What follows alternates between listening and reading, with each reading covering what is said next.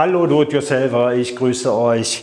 Ja, ihr seht schon, worum es geht bei diesem Boden. Das ist ein Boden, äh, da war ein Estrich drin, der ist rausgekommen, weil hier in dem Haus ein Feuchtigkeitsschaden war.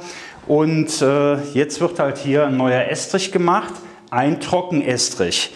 Ähm, die Firma Knauf hat ein neues Produkt rausgebracht. Ihr kennt den alten Brio-Boden. Und äh, der Brio-Boden ist ja ein Trockenestrich, der auf Schüttung verarbeitet wird, ähm, um direkt zum Beispiel einen Boden direkt draufzulegen, Fliesen draufzulegen. Und jetzt gibt es einen neuen Boden, der nennt sich Hugo. Hugo ist ein neuer Trockenestrich von Knauf. Ähm, der hat nicht mehr die Stufenfalt, sondern der hat Nut und Feder. Die Nut und Feder hat den großen Vorteil, dass man nicht mehr obendrauf verschrauben muss.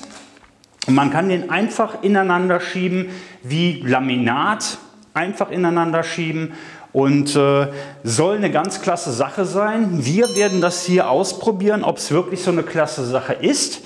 Und äh, ich bin gespannt, seid auch gespannt. Zu dem Boden, wie gesagt, das ist jetzt hier drunter, ist jetzt die Bodenplatte. Äh, wenn eine Bodenplatte ist, sollte man auf jeden Fall eine Sperrschicht machen, das heißt gegen auftretende Feuchtigkeit. Und da gibt es von der Firma Knauf die Katja Sprint Bahn. Das ist eine selbstklebende Abdichtungsbahn.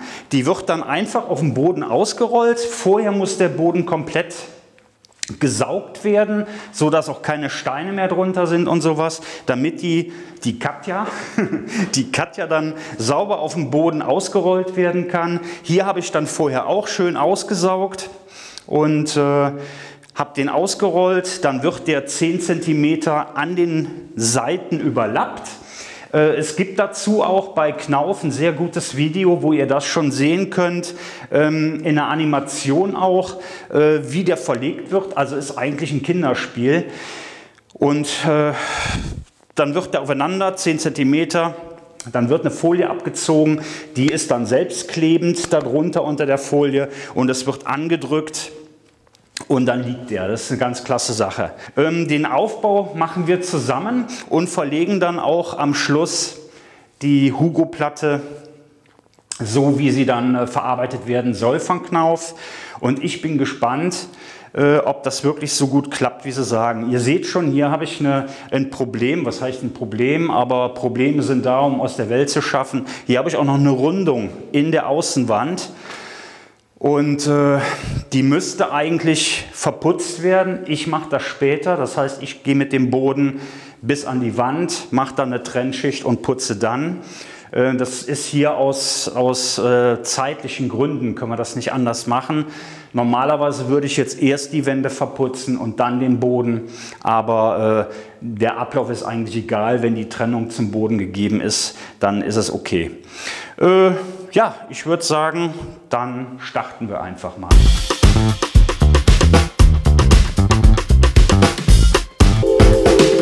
Also ihr seht dann, man hat hier genau so eine schraffierte Linie und bis dahin muss dann genau die Katja überlappen.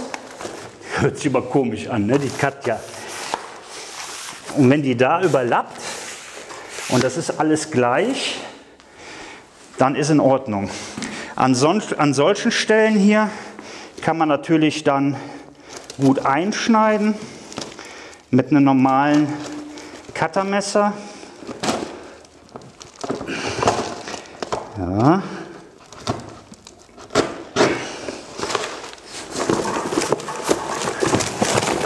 Hier überlappt es. So. Und hier drunter habt ihr jetzt zwei Folien, zwei Folien, eine auf der Unterseite der oben drauf liegenden Katja und eine auf der drunter liegenden, die jetzt unter der Katja liegt. Mensch, hört auf, ey. Da kommen ja wieder Kommentare. So, dann ziehen wir hier einfach einfach die zwei Klebebänder ab, drücken hier einmal an.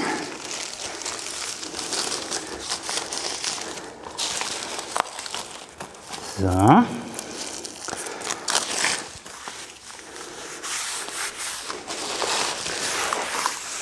Und da gehen wir nachher mit den Füßen drüber, damit das schön fest zusammendrückt.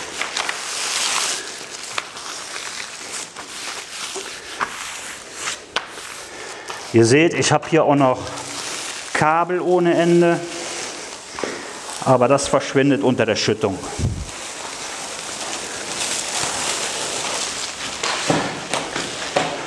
So, und dann einfach mit dem Fuß schön fest darüber.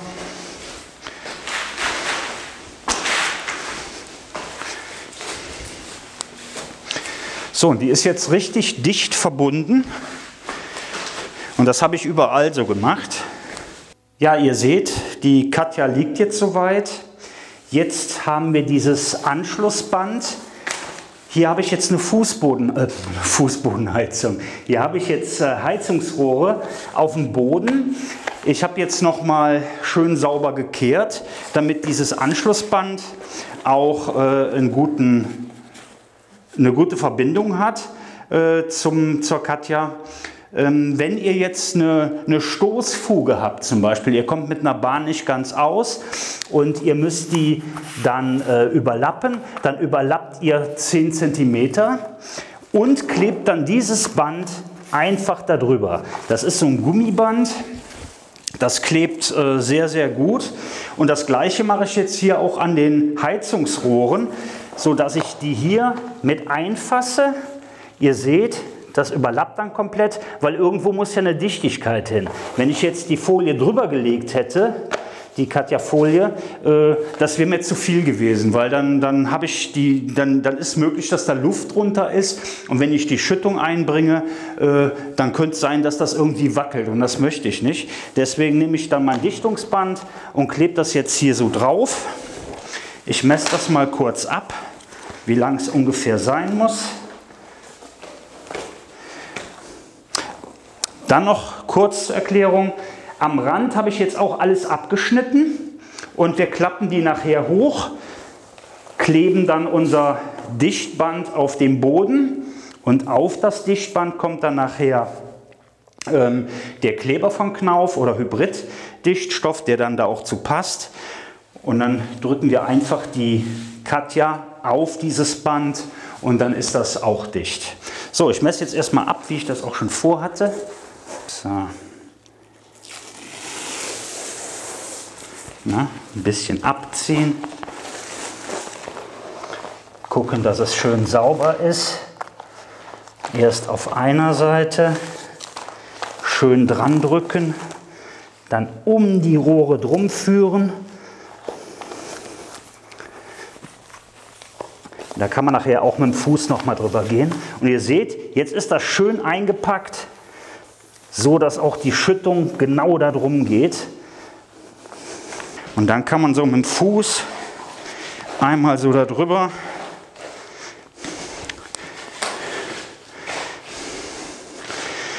und dann ist die Verbindung, dann ist die Verbindung gegeben, so dass alles dicht ist. Ja, wir kommen jetzt zum Ausnivellieren des Bodens. Das heißt, wie viel Schüttung muss ich drauf machen? Ähm, mit der PA-Schüttung von Knauf, das ist Lavagestein, kann man 10 cm auffüllen. Äh, mache ich jetzt hier in diesem Raum nicht. Äh, das ist halt ein anderer Aufbau. Man kann das aber dann erfragen auch bei Knauf, was am besten für euch für einen Aufbau wäre, was man machen kann. Das ist immer unterschiedlich, äh, kann man so nicht sagen. Es kommt immer darauf an, was für ein Untergrund, äh, all solche Faktoren spielen da eine Rolle. Ich muss auf jeden Fall jetzt hier auf dieses Maß kommen von diesem alten Estrich, der hier raus in diesen Vorflur geht. Und es ist eigentlich ganz einfach. Also ihr müsst dann auch keinen Meterriss machen oder so. Ihr müsst einfach nur euren Aufbau wissen. Also das heißt, bei mir hat jetzt äh, der Aufbau insgesamt 78 mm, was auf die Schüttung draufkommt. Und diese 78 mm, das ist dann die, die Platte, das Styrodur. Und wenn man das alles abzieht, äh, bleibt dann der Rest der Schüttung.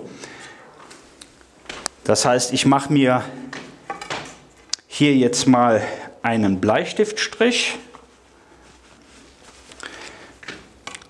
So.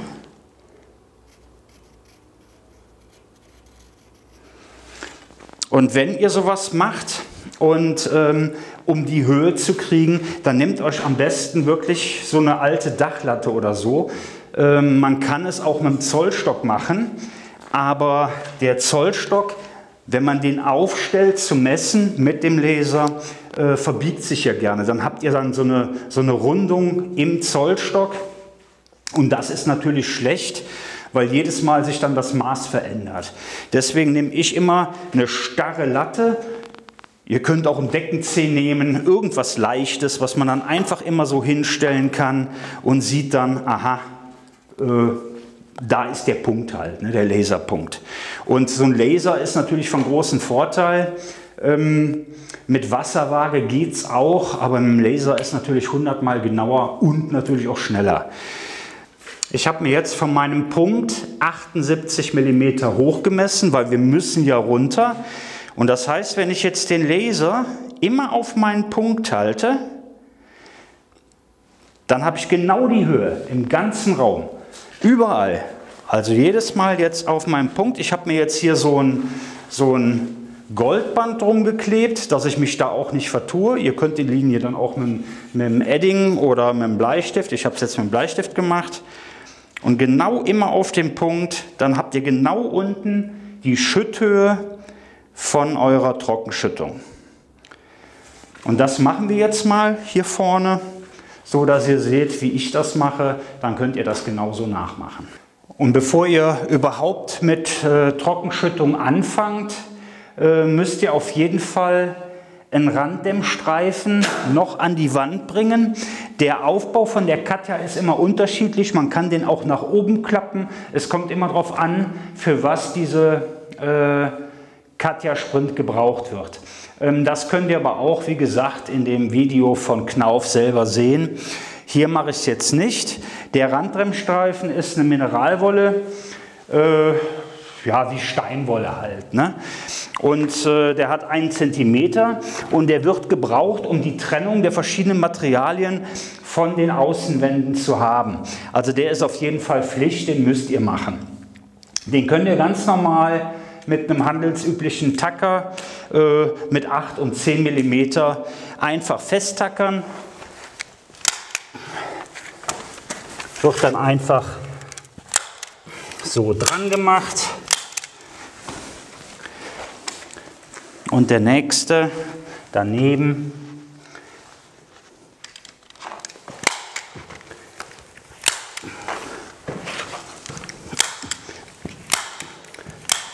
Und das müsst ihr dann einmal komplett rum machen, diesen Damm, äh, Rand, dem Streifen dran machen. Dadurch, dass mein Aufbau ja jetzt so aussieht, äh, Trockenschüttung von Knauf, die PA, dann die Vidival.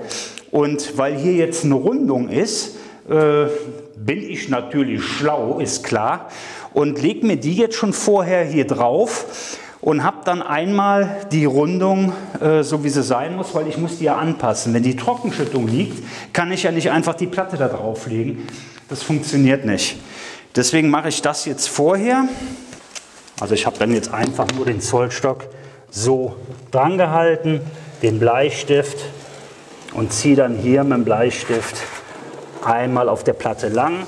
Die Linie ist jetzt nicht ganz gerade, aber das ist egal. Das ist sowieso an der Wand. Äh, man kann es ja auch noch gerade schneiden. Ja, und dann wird es ausgeschnitten. Dann machen wir weiter. Dann gibt es verschiedene Möglichkeiten, wie man das jetzt abzieht. Äh, es gibt T-Schienen, die sind extra für den Trockenestrich, für die Schüttung.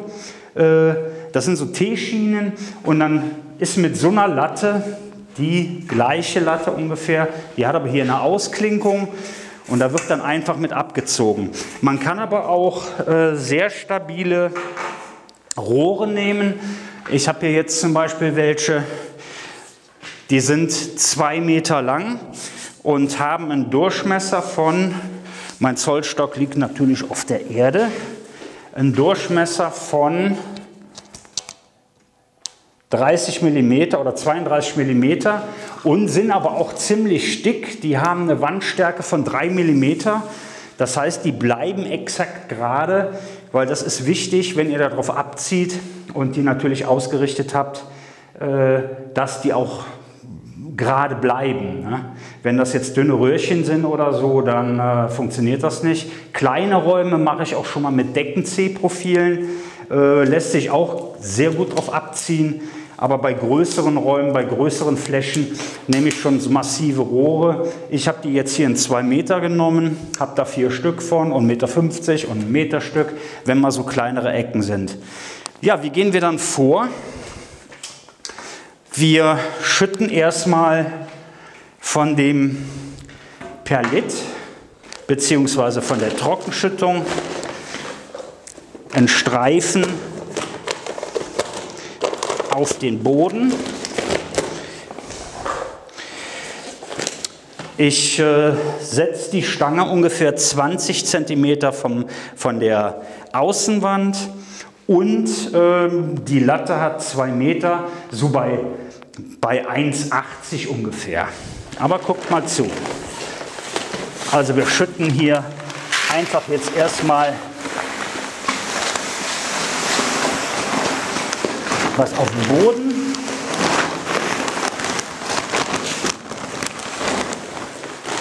Dann ungefähr bei 1,80 auch.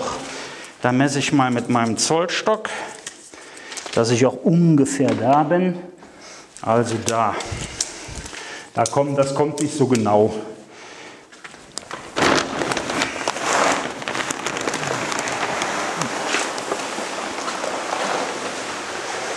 So.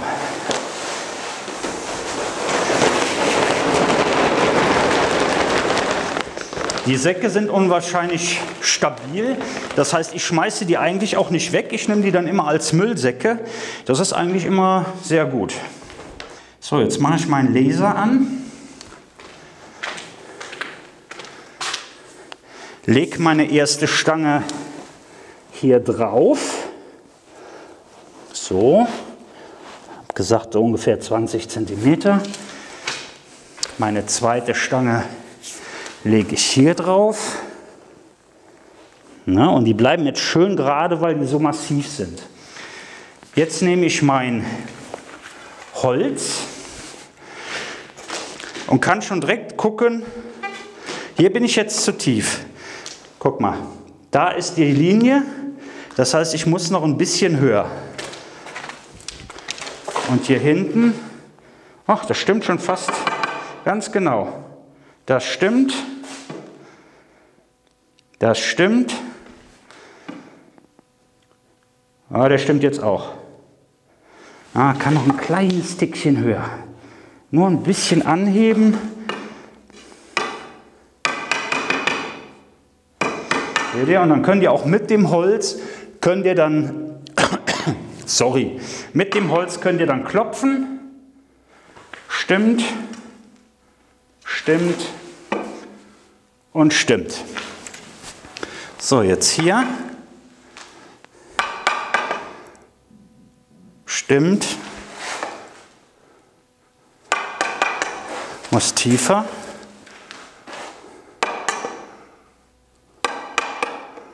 Holz dann schön gerade halten. Ja, und das könnt ihr natürlich nicht mit dem Zollstock. Wenn ihr da so messt, das ist dann immer ja, ist suboptimal. Also so stimmen die jetzt ganz genau. Auf dem Niveau muss ich abziehen. Dann hole ich mir jetzt noch einen Sack. Ich überprüfe mal. Ihr seht, das passt ganz genau da drauf. Waage stimmt auch hundertprozentig. Hier auch hundertprozentig. Theoretisch kann ich jetzt hier nochmal zwei Meter hinter machen mit diesen Stangen und kann dann die ganze Fläche abziehen. Aber um euch das jetzt zu zeigen, mache ich es jetzt erstmal nur auf diese zwei Meter.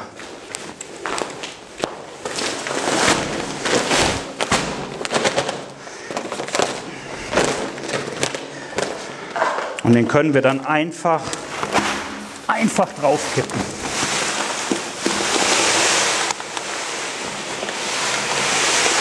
Und der nächste. So, jetzt verteile ich das erstmal ein bisschen. Dafür nehme ich dann immer hier so einen alten Glätter.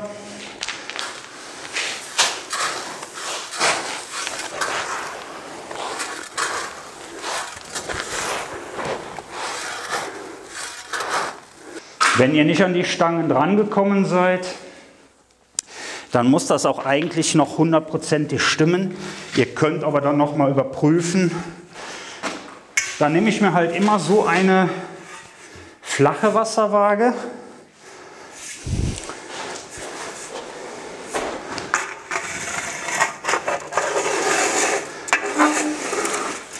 Ziehe dann einfach ab.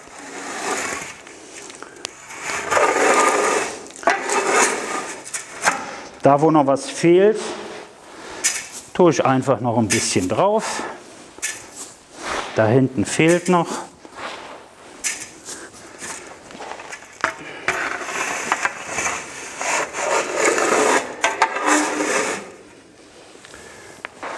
So, ihr seht, so einfach wird das abgezogen. Das ist jetzt die genaue Höhe, die wir brauchen für die Trockenschüttung.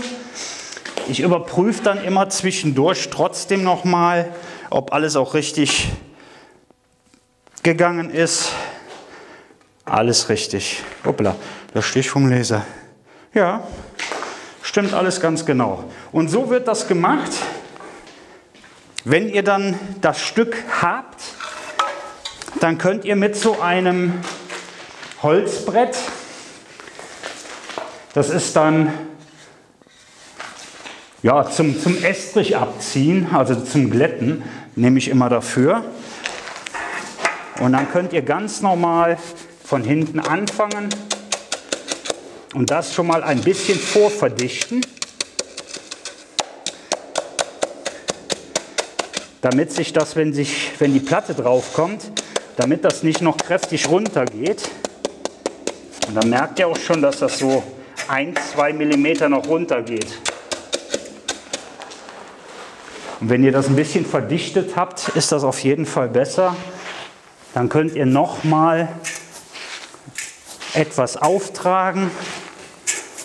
So, jetzt nehme ich hier meine Wasserwaage noch mal, ziehe noch einmal nach. Das sieht schon mal sehr, sehr, sehr sauber aus.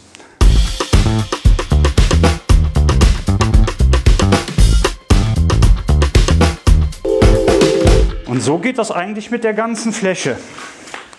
So, jetzt gucken wir uns an, wie ich das hier vorne mache. Um jetzt an diese Stange wieder dran zu kommen, ist eigentlich ganz einfach. Ihr braucht dann eigentlich nur, äh, ich habe jetzt hier eine Styrodurplatte, ihr könnt irgendeine feste Platte einfach so drauf und ihr könnt schon komplett dann auf diese Fläche drauf. Die ist so fest, da verschiebt sich auch nichts mehr und das könnt ihr dann einfach so machen. Dann einfach die Stange nehmen und raus. So. Und da muss dieser Zwischenraum, wo ihr die Stange rausgenommen habt, der muss auch wieder aufgefüllt werden. Ich nehme dann immer einen ganz normalen Eimer, nehme mir von, dem, von der Schüttung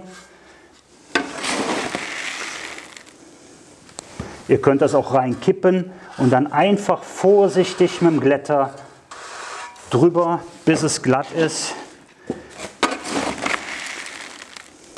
Seht ihr schon. Weil wenn ihr das nicht macht, dann äh, verschiebt sich natürlich darunter die Schüttung. Und das wäre nicht so gut, dann stimmt ja die Aufbauhöhe nicht mehr. Äh, ihr braucht keine Angst zu haben, dass ihr da irgendwas äh, falsch, verrückt oder so. Also da, das ist ja ein Millimeter, wenn überhaupt, und noch nicht mal.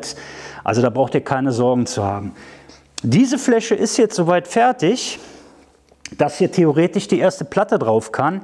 Die müssen wir ja eigentlich auch erst drauf machen, äh, damit wir überhaupt eine Lauffläche haben für nachher.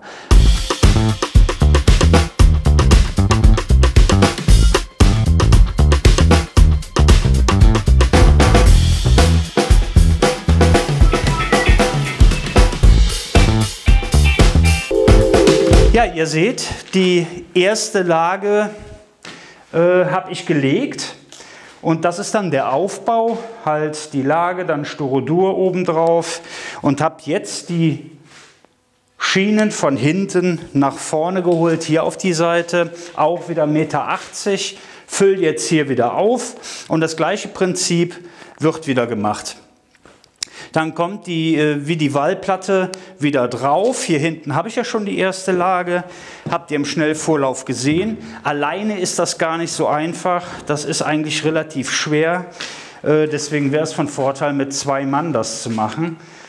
Und äh, dann geht es auch einfach. Aber ich bin alleine und da muss ich jetzt durch. Ähm, ja, wie gesagt, hier habe ich jetzt schon ausgerichtet, auch wieder mit meiner Latte drauf stimmt alles ganz genau. Äh, über die Rohre muss ich auch drüber, beziehungsweise über die Leerrohre. Und äh, ja, ziehe das jetzt wieder ab, dann kommt wieder das Rohr raus, fülle das wieder auf, wieder die Vivaldi-Platte drauf.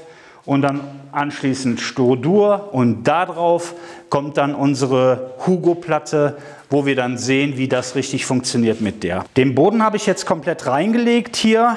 Das ist die Vidival, habe ich ja auf die PA-Schüttung draufgelegt. Und das ist natürlich der Riesenvorteil. Erstens steift das die ganze Schüttung aus und zweitens könnt ihr jetzt schon laufen, wo ihr wollt. Ich habe auch eben schon mit der Wasserwaage einmal drüber geguckt. Also ist alles super gerade, dadurch, dass ich das natürlich mit dem Laser gemacht habe und äh, gab natürlich dadurch keine Probleme. Probleme hatte ich, weil hier auf dem Boden äh, Leerrohre lagen, das seht ihr ja hier auch. Und da kann man dann ausklinken und durch das Styrodur, was wir gleich drauflegen, äh, kann man auch, falls es immer noch zu hoch ist, falls ihr das auch zu Hause habt, also das heißt, wenn ihr die jetzt über die Überhöhung legt und ihr merkt, da ist immer noch zu hoch, dann könnt ihr auch das Styrodur daneben legen, so, und dann nochmal, und hier auch, und dann komplett mit der PA-Schüttung auffüllen, dann ist das genauso drucksteif, als wenn man jetzt das Styrodur noch drauflegt. Ähm, das sind manchmal so Sachen auf der Baustelle, ähm, die sind einfach so, da kann man auch nichts groß dran machen. Da muss man mit leben. Zu dem Styrodur, hier habe ich jetzt ein 50er Styrodur und äh, das wird jetzt einfach auf den Boden draufgelegt. Wenn es natürlich geht, verlegt ihr die äh, wie die Wallplatten und das Styrodur auch im Versatz. Also nicht genau Fuge über Fuge, das wäre ähm, nicht so ideal. Am besten ist immer ein Versatz. Hier habe ich jetzt einen Versatz von circa 20 Zentimeter. Lege das einfach so drüber. An der Rundung wird natürlich auch angepasst.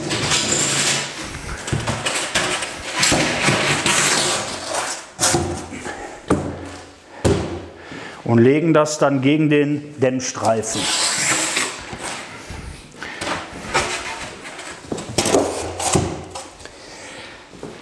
Auch bei dem Styrodur machen wir einen Versatz. Da können wir ruhig dann halb-halb machen. Ihr seht, ich bin jetzt hier über diese Fuge, ich bin über diese Fuge. Also manchmal lässt es sich nicht vermeiden, dass man äh, vielleicht mal über eine Fuge drüber kommt, wenn man das so im Versatz legt. Das ist dann auch nicht so tragisch, aber der größte Teil habt ihr dann schön überlappt. Hier hinten schneide ich jetzt diese Platte rein, die Styrodurplatte, und dann wird alles so fortlaufend gelegt. Äh, wie Laminat mehr oder weniger. Anders äh, ist es nicht. Und wenn wir das haben, ihr seht schon, hier oben mein Streifen, mein Dämmstreifen an der Wand war zu kurz. Hier muss ich gleich trotzdem noch mal ein Stück drauf machen von dem Dämmstreifen, damit die Hugo-Platte, die wir nachher kennenlernen, seid gespannt, äh, dann auch gegen diese äh, äh gegen den Rand, dem Streifen äh, gegenstößt.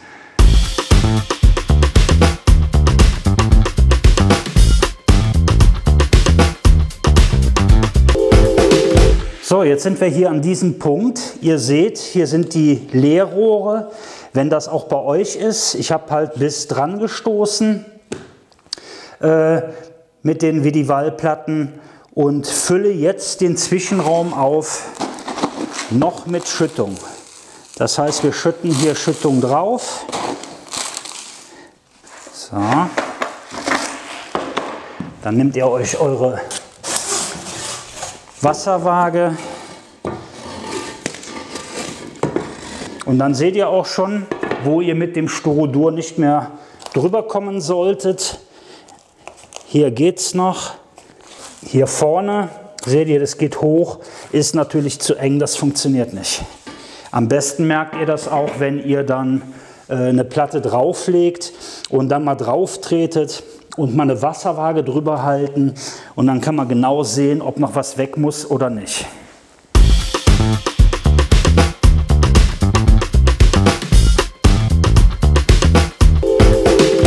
Hier haben wir jetzt dasselbe äh, wie auf der anderen Seite. Hier waren ja auch die ganzen Kabel, die gehen dann hier in die Wand, Strom für den Garten und sowas.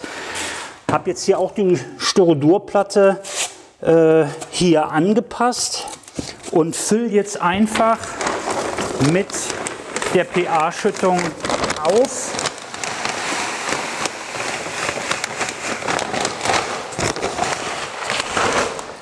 Einfach draufkippen und mit der Wasserwaage verteilen.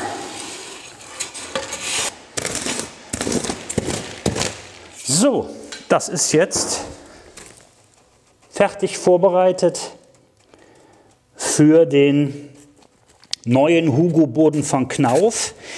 Jetzt im Anschluss geht es auch direkt weiter äh, und wir legen diesen Hugo-Boden. Es ist halt äh, ein neues Produkt. Ihr kennt den den äh, Brio von Knauf, den habt ihr vielleicht auch schon verlegt oder schon von gehört. Und wie gesagt, jetzt gibt es den Hugo und wir sehen gleich, was der für Besonderheiten hat und wie leicht er sich legen lässt. Und äh, ja, schauen wir uns mal an. Ja, ihr Do-it-yourselfer, jetzt kommen wir zu der Hugo-Platte. Ist genau das gleiche Material, dasselbe Material wie die Brio. Ähm, der Unterschied ist halt, dass wir hier Nut und Feder haben und der Clou, man muss nicht mehr verschrauben.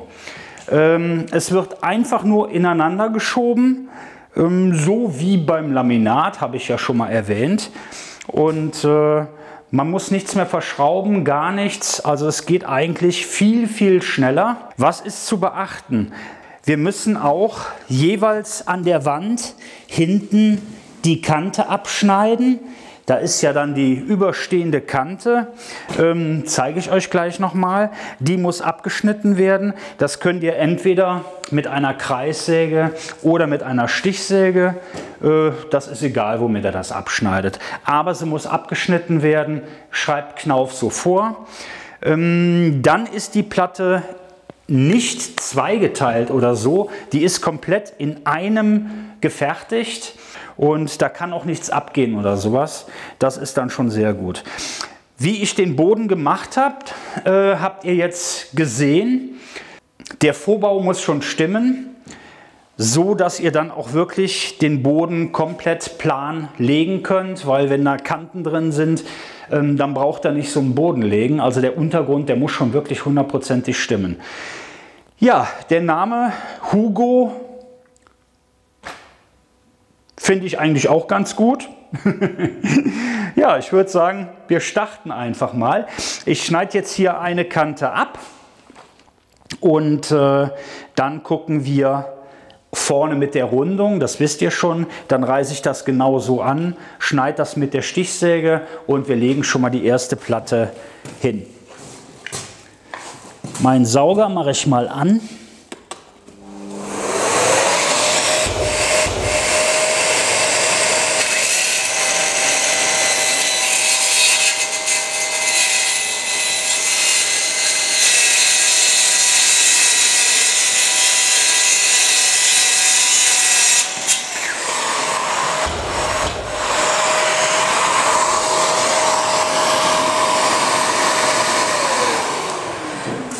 Also ihr seht, trotz Sauger staubt es natürlich ein bisschen, das ist aber klar.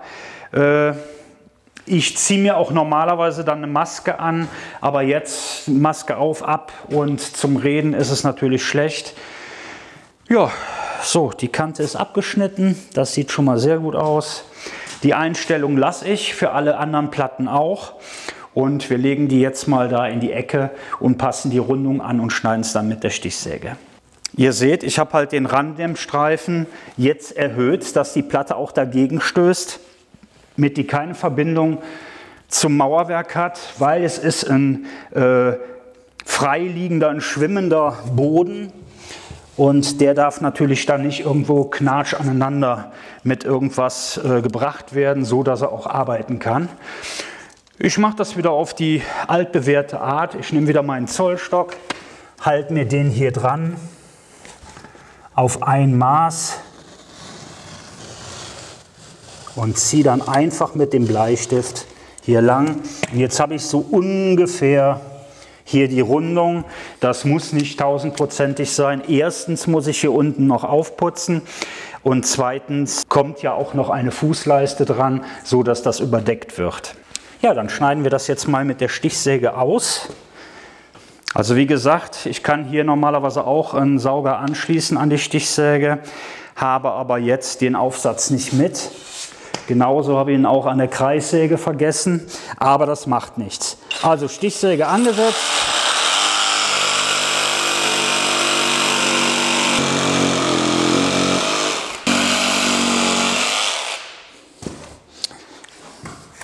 Und diese Kante, die müsst ihr sowieso abschneiden, weil die wäre jetzt gegen die Wand.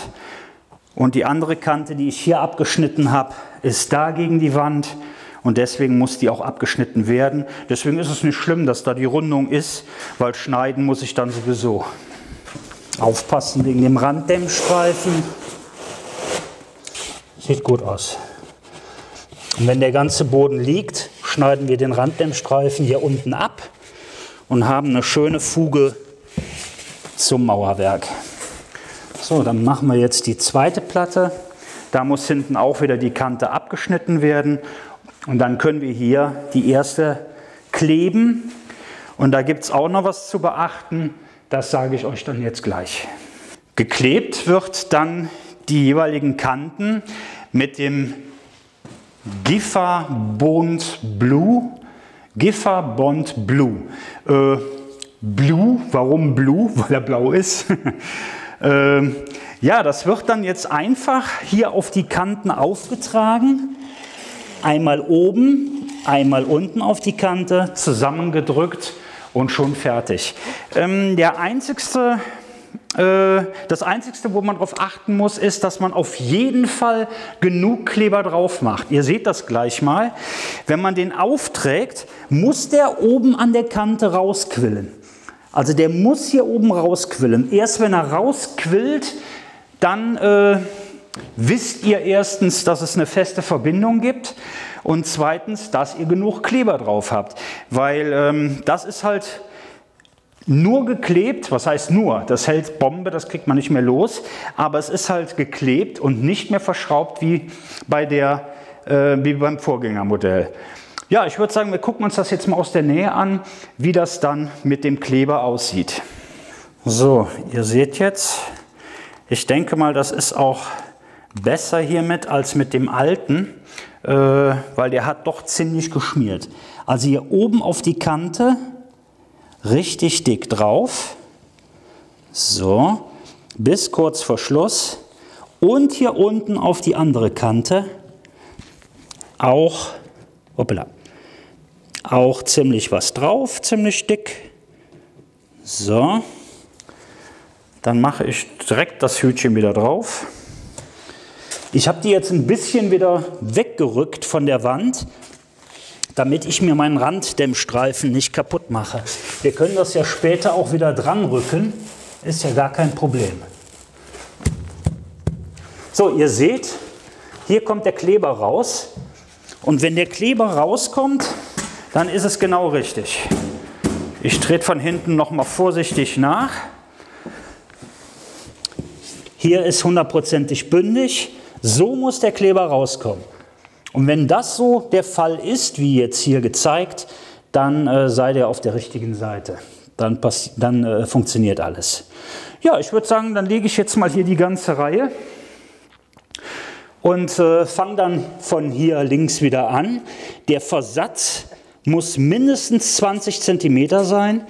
Also das heißt keine Kreuzfuge, nicht fünf oder so hier direkt nebenan mit der Platte, sondern mindestens 20 cm muss der Versatz sein zu dieser Fuge.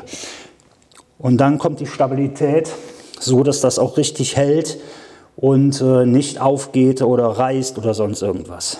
So, und die nächste Platte. Ihr seht auch hier vorne an den Kanten, da ist was abgebrochen. Bei der Platte da vorne auch, weil äh, waren immer die anderen.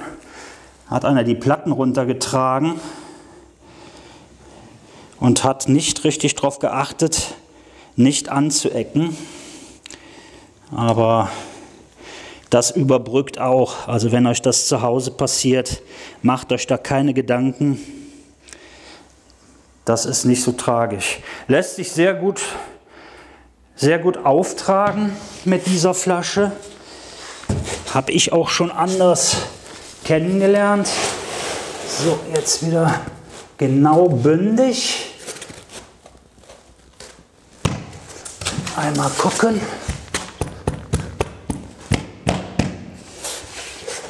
So. Dann könnt ihr von hinten einfach mal so gegentreten und dann passt das. Das ist eine Gipsfaserplatte, nennt man die, das Material.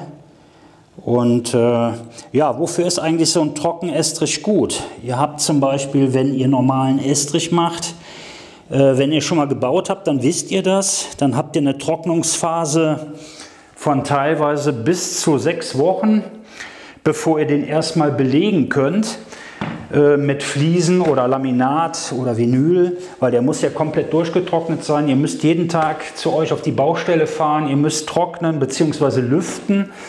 Und das habt ihr natürlich bei dieser Platte absolut gar nicht. Das Einzige, was trocknen muss, ist dieser Kleber.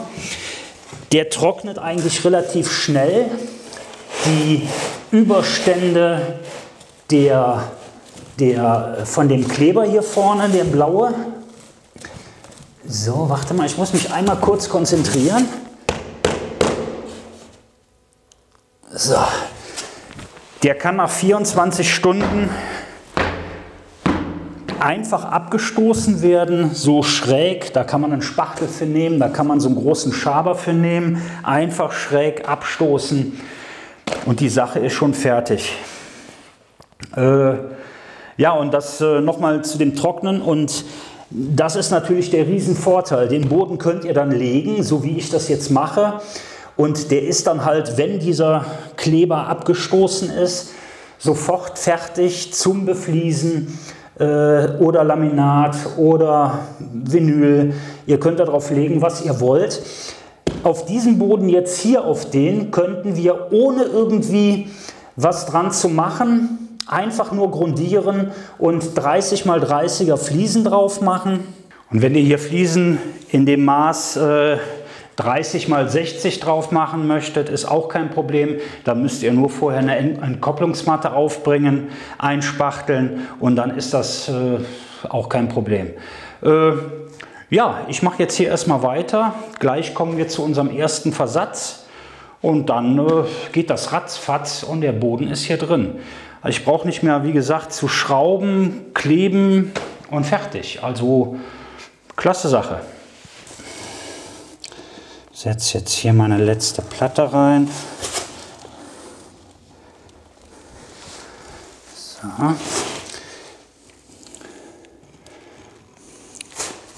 auch schön drauf.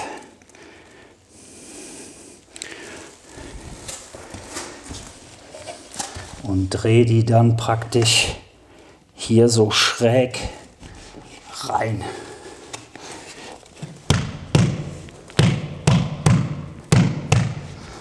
Das ist jetzt der Rest von der anderen Seite.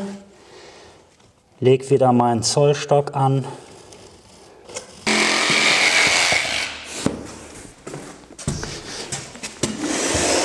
Gucke, ob es passt. Passt. Und jetzt genauso auch wieder obendrauf der Kleber. So. Unten drauf Kleber. Also es müssen wirklich beide Seiten,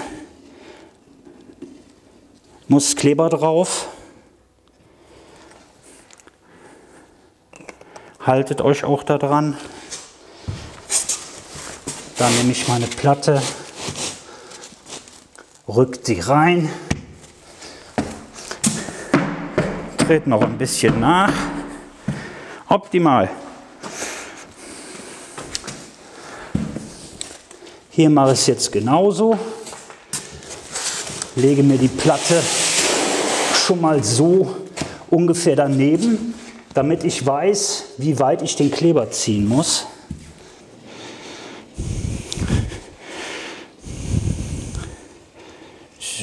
Einmal komplett rum. Ihr müsst ja jetzt den ganzen Winkel mitnehmen mit dem Kleber.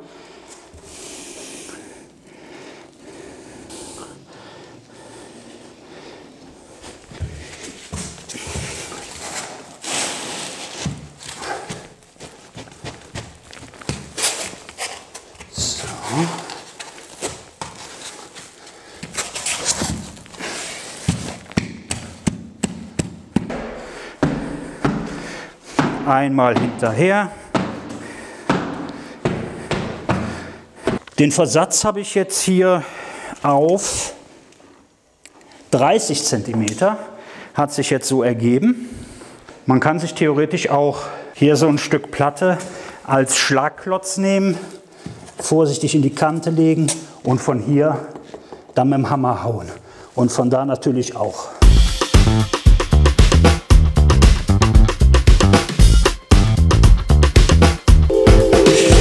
Und immer schön gucken, dass die Kanten sauber sind hier, weil das ist wichtig, dass sie halt einen sauberen Anschluss bekommt.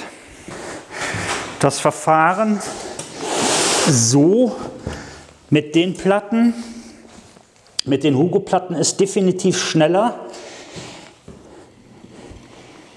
weil wir halt nicht verschrauben müssen, sondern nur kleben. Und vor allen Dingen ist natürlich der große Vorteil von einem Trockenestrich, hoppala, von einem Trockenestrich, dass ihr nicht warten müsst mit dem Belegen von den Platten, also mit Bodenbelag. Und weil ihr natürlich auch keine Feuchtigkeit dann im Raum oder im Haus habt. Also das müsst ihr mal bedenken. Es ist trocken, deswegen Trockenestrich. Und noch als kleiner Tipp, wenn ihr den Boden legt, hier drauf steht äh, geschrieben Knauf, Gieferflor, Hugo L und eine Nummer. Auf der anderen Seite, also das ist immer die Oberseite und auf der anderen Seite steht nur eine Nummer, Produktionsnummer. Also wenn ihr die so habt und die guckt immer, also ihr könnt sie lesen von vorne, dann liegen eure Platten richtig. Dann noch zum, äh, zum Lagern, wenn ihr die kauft oder wenn ihr die geliefert kriegt dann auf jeden Fall ähm, immer ganz flach lagern, also liegend, nicht stellen, weil dann schüsseln die und dann kriegt ihr die am Ende nicht mehr verarbeitet, weil ihr nicht in die Feder reinkommt mit der Nut. Also das ist auch ganz wichtig, dass ihr die richtig lagert. Die können natürlich auch draußen lagern, das macht denen nichts, sie dürfen nur nicht nass werden, klar aber dann auch nicht zu lange, halt eine kurze Zeit. Und dann, ähm, dann funktioniert das. Moment, ist manchmal schwer, aber das gehört dazu. So, ich nehme mir noch mal meinen Klotz, meinen Schlagklotz, den ich hier habe. Das ist meine Ausrichtlatte von dem Boden. Und man kann wirklich sagen, wer Laminat oder Vinyl verlegen kann oder das schon mal gemacht hat, der kann es auch mit Hugo aufnehmen. Also ist gar kein Problem, den zu verlegen. Ihr seht auch, äh, wie schnell das geht. Das ist ja teilweise, habe ich ja vorne schon in Echtzeit gefilmt. Also das geht wirklich ratzfatz. Ich mache es immer alleine, aber wenn ihr natürlich einen zweiten Mann habt, dann wäre es natürlich äh, einfacher, der dann Material rankart und mit reinhebt. Dann ist es natürlich um einiges, um einiges einfacher. So, ich bin jetzt am letzten Stück angekommen, Boden einzusetzen, den Knauf Hugo. Also ich finde, es ist ein ausgezeichneter Boden. Jetzt nicht, weil es für Knauf ist, sondern weil es viel einfacher ist den zu legen, weil man halt nicht mehr schrauben muss. Und äh, das Schrauben alleine nimmt schon sehr, sehr viel Zeit in Anspruch. Und das braucht man halt hier nicht mehr, das fällt komplett weg. Ja, das letzte ist immer etwas schwerer. Ja. Und drüber damit. Freunde, das Werk ist vollbracht, der Boden liegt. Er ist super gerade, weil die Vorarbeit gestimmt hat.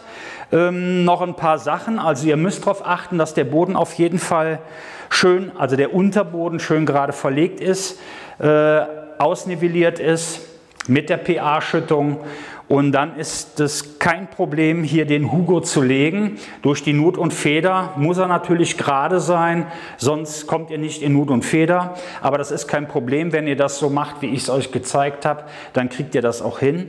Wie gesagt, den Hugo, äh, wenn ihr Laminat, Vinyl verlegen könnt, kriegt ihr auch den Hugo hin. Der ist sogar noch einfacher, weil die Platten größer sind. Ähm, die Platten haben ein Maß, ich zeige euch das so, von 60 mal 1, 20. Also 60 mal 1,20 sind die Maße. So könnt ihr dann euren Raum ausmessen, wie viele Platten ihr braucht. Ähm, zu dem Abstoßen, wie gesagt, Knauf sagt, sagt nach 24 Stunden. Ich warte aber jetzt keine 24 Stunden, um euch das zu zeigen. Also ihr könnt einfach einen ganz normalen Spachtel nehmen und dann hier so schräg die Kante wegstoßen. Das ist ganz einfach, lässt sich ganz einfach machen. Wie gesagt, Knauf sagt nach 24 Stunden. Und dann könnt ihr den auch schon komplett belegen. Ja, ich finde, er hat sich super legen lassen.